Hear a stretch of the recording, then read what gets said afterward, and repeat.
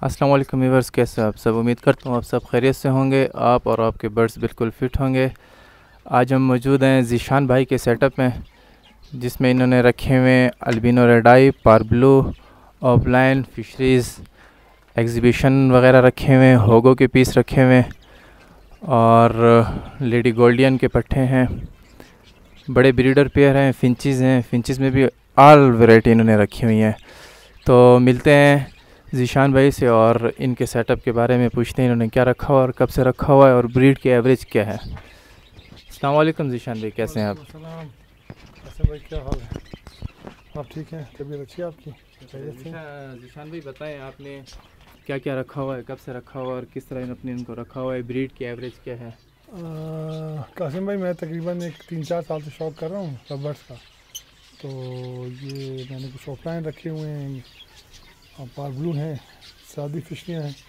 उसके बाद एल्बियन के साथ कुछ पेड़ लगे हुए हैं। तो मिक्स ब्रीड है सर मेरे पास। ईशान भाई यहाँ से जाना शुरू करते हैं। बताएँ क्या क्या रखा हुआ है और इनकी बॉक्सेस वगैरह भी दिखाएँ कि इनमें बच्चे आए हुए हैं अंडे आए हुए हैं क्या एवरेज है?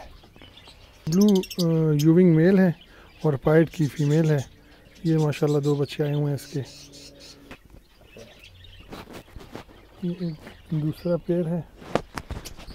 दूसरा पेड़ है देखिए ये स्प्लिट ऑपलाइन मेल है और उसके साथ फीमेल ब्लू की है। ये इसके माशाल्लाह चार बच्चे आए हुए हैं। ये इसका मेल जो है, ये पार्बलू मेल है और सलेटी फिशरी में इसकी फीमेल है। मैं आपको दिखाता हूँ। ये इसके बच्चे आए हुए हैं, माशाल्लाह से। देखिए इसके। फीमेल का देखा इसके बाद में पकड़ते हैं इसके ब्लू फिशर हैं साथ इसके हाईलाइट में ये पाब्लू के दो बच्चे हैं फिशरी मास्किंग में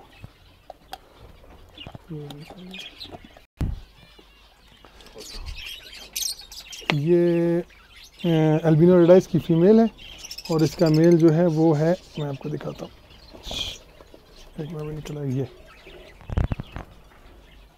पेस्टलिनो है, इसका मेल और एल्बिनो रेडाइस फीमेल है। ये दो बच्चे आए हुए हैं इसके और दो अंडे हैं, वो भी फर्टाइल ये पारब्लू अपलाइन की फ़ीमेल है पारब्लू अपलाइन की। और मेल इसका ग्रीन अपलाइन है। इसकी अभी सेकंड क्लच आएगा। अभी माशाल्लाह पाँच अंडे दिए हुए हैं, पाँचों फर्टाइल हैं। पसनाटा का। इसके भी अंडे आ गए हैं अभी। उसके अलावा एक पेड़ ये है। ये स्प्लिट ऑफलाइन है और इसकी फीमेल पार ब्लू है। ये इससे पहले क्लच के बच्चे आए हुए हैं, जिसमें से आधे तो मैंने सेल कर दिए कुछ पड़े हुए हैं। तो ये अगर किसी को चाहिए हो तो रब्ता कर सकता है। तो खान भाई इसका रेट भी बताएँ क्या रेट है और ये ग्रीन ऑफलाइन जो है ये मतलब इसकी जो मास थी वो पाब्लू ऑफलाइन थी और मेल जो है ग्रीन ऑफलाइन जैसे मैंने दिखाया भी है। तो ये आपको दे दूँगा थर्टी थाउज़ेंड का। और वो जो डेकिनो टाइप है वो भी थर्टी तक दे दूँगा। उसके अलावा ये पट्टे निकले हुए हैं। वो उसमें एक दाना जो है वो पार्बलू स्टेटिनो है। वो ट्वेंटी थाउज़ेंड का है। तो ये कुछ बर्ड हैं। फिशरी है मेल इसका मूव फिशरी और फीमेल इसकी है पार्बलू यूविंग मैं आपको दिखाता हूँ। ये इसमें नज़र आया आपको। ये इसका पहले क्लच आया था, ये दूसरा क्लच है और अभी माशाल्लाह ये अंडा भी फटा है आजकल में इसके भी बच्चे निकलने वाले इसके अलावा आप आए। ये दूसरा पेड़ मैं आपको दिखाता हूँ। आए सर।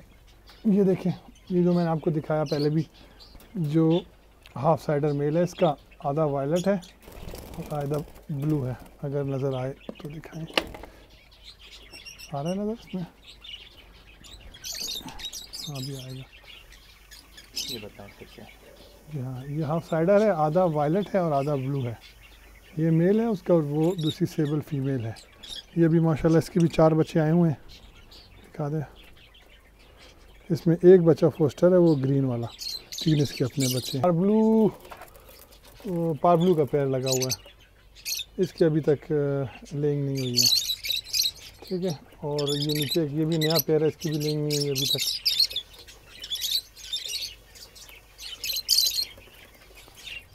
और इसके नीचे ये रेडाइस का पैर है अल्बिनो रेडाइस का। इसकी भी लेंग नहीं हुई अभी तक, ये भी नया लगाया मैंने। जी, ये एग्जीबिशन है मेरे। ये माशाल्लाह मेरा पेड़ है टीसीबी की फीमेल है और रेम्बो टाइप मेल है। और ये माशाल्लाह इसके तीन बच्चे तो इसके अपने हैं और एक जो है होंगोरोमो वाइट वो इसके नीचे फोस्टर किया था। ये चारों अभी ये पाल रही है।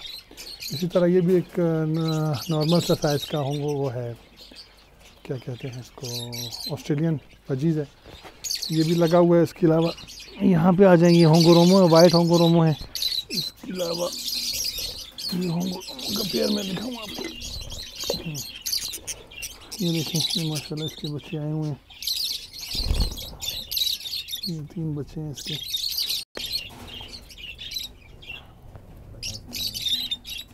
ये मैं मैं पेड़ आपको दिखाता हूँ। फिशरी का मेल है। और एल्बाइनो फिशरी में फीमेल थी। इसके ये पट्टे अभी आए हैं। दो बच्चे हैं इसके। देख लें। ये भी बच्चे आए हुए हैं।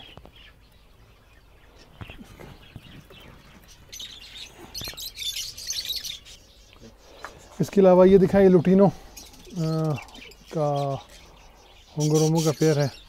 उसके अलावा एक ये फीमेल है, मेल मैंने इसका अलग कर दिया है। इसकी भी ब्रीड आई हुई थी। देखो ये होंगरोमो इसकी अच्छे हैं। उसके अलावा, इसके अलावा यहाँ पर एक येलो चेस्ट का पेयर है। तो वो उन्होंने लेन की हुई है तो वो अंदर ही है। वो सादा ऑस्ट्रेलियन है छोटा पेयर है। यहाँ पे मेरे पिछले साल के पट्टे हैं ये। पिछले साल के मेरे पट्टे थे, इस साल अभी ब्रीड पे आ गए इन्होंने एक साल, एक दफ़ा ब्रीड किया, अभी दूसरी दफ़ा कर रहे हैं। और उसके अलावा यहाँ पर आ जाए ये पेयर है। इसके भी माशाल्लाह एग्ज आ गए और ये तो मैंने फोस्टर पेयर है मेरा। ये बड़े एग्जीबिशन के अंडे में इसके नीचे रख देता हूँ। तो ये फिंचेस का सेटअप है। दिखाएँ। सिम भाई इनको। थोड़ा सा अंदर करके ना आप ज़रा ऊपर हाँ ऊपर से दिखाएँ। इसके अंदर ऑरेंज भी है ब्लैक ग्रास भी है फैंसी फ्लोरिडा भी है और उसके अलावा स्नो वाइट भी है। तकरीबन सारी म्यूटेशन इसके अंदर हैं। हम्म।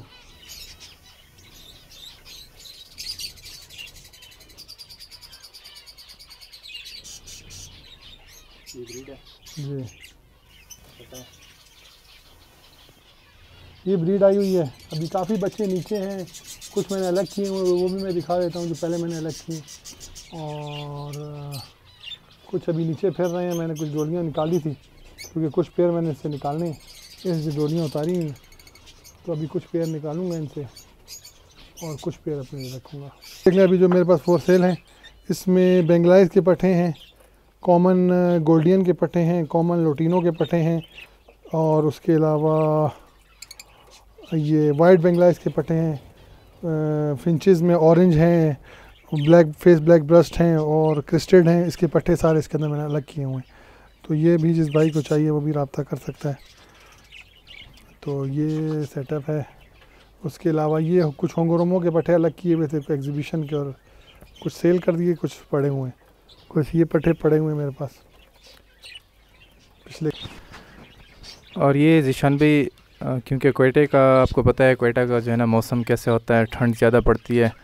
तो इसके बारे में बताएँ, आपने इनको कैसे रखा हुआ है, मेंटेन कैसे किया हुआ है इसका टेम्परेचर ये भी बताएँ। सर, ये इस तरह है कि सर्दी दिन में तो आपके सामने यहाँ धूप आ रही है, दिन में धूप होती है, दिन और रात के लिए मैं इस पर हीटर लगाता हूँ। या आप हीटर देख लें, ये आपको टकटक गली से मिल जाता है, इसके अंदर स्टोव लगा हुआ है। तो ये इसका कच्ची गैस का भी मसला इसकी वजह से नहीं होता ना, अगर गैस चली भी जाती है, खुदा न खास्ता तो ये गैस सारी बाहर जाएगी, अंदर बिल्कुल भी आपको स्मेल नहीं आएगी उसकी। तो ये बहुत बेहतरीन है, ये तकरीबन मैं काफ़ी सालों से इसको यूज़ कर रहा हूँ। अलहमदिल्ला आज तक इसका कोई भी नुकसान नहीं हुआ, अल्लाह का शुक्र है। तो ये चीज़ है, ये मैं सर्दी के लिए यूज़ कर रहा हूँ और दिन के लिए, दिन में धूप आती है यहाँ पे। और बस ये चीज़ है। और गर्मियों में प्लास्टिक वगैरह उतार देते हैं, हवा चलती रहती है तो जी वीवर्स ये था जीशान भाई का सेटअप और ये हमारे साथ मौजूद हैं जीशान भाई।